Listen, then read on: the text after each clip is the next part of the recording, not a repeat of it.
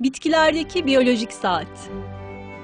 Gelincik çiçekleri polenlerini polen taşıyıcı böceklerin en fazla olduğu saatlerde yayarlar.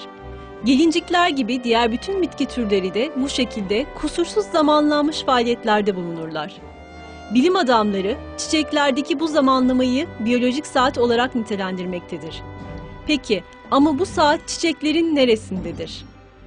Bitkiler kendileri için hayati önem taşıyan faaliyetlerini güneş ışığındaki değişimlere bağlı olarak gerçekleştirirler. Örneğin birçok bitki yılın sadece belli zamanlarında çiçek verir.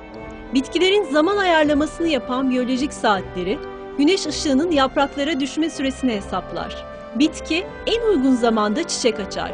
Yapılan araştırmalar sonucunda soya fasulyesinin ne zaman ekilirse ekilsin daima yılın belli zamanlarında çiçek açtığı tespit edilmiştir. Gelincik çiçekleri de polenlerini yayma zamanlarını polen taşıyıcılarının en yoğun olarak dolaştıkları günlere ve saatlere denk getirirler. Bu çiçekler Temmuz ile Ağustos aylarında sabah saat 5.30 ile 10 arasında polenlerini yayarlar. Bu saat aralığı arıların ve diğer böceklerin de beslenmek için dışarıya çıktıkları saatlerdir. Böylece bitkilerin polenleri en verimli şekilde dağıtılmış olur. Acaba bitkiler neye göre zaman ayarı yaparlar ve hangi organlarıyla hareketlerini düzenlerler? Böyle mükemmel bir zamanlama yapabilmesi için bitki kendi özellikleri dışında bir de diğer canlıların özelliklerinin en ince ayrıntısına kadar şuurunda olmalıdır.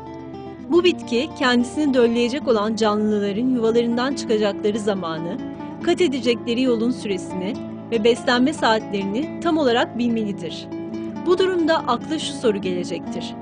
Bütün bu bilgilere sahip olan ve gerekli hesaplamaları yapan diğer bir canlının özelliklerini analiz eden ve bir bilgisayar merkezini andıran bu saat bitkinin neresindedir? Bitkilerin bu gibi organizasyonları yapacak beyinleri yoktur. Buna rağmen bitki, akıl sahibi bir insan gibi tespit yapar, karar verir ve uygular.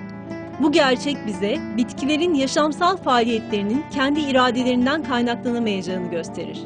Bitkilerin her türlü faaliyetlerinin zamanlamasını belirleyen ve denetimi altında bulunduran üstün bir akıl ve güç vardır. Bitkilere neler yapacaklarını ilham eden alemlerin Rabbi olan Allah'tır.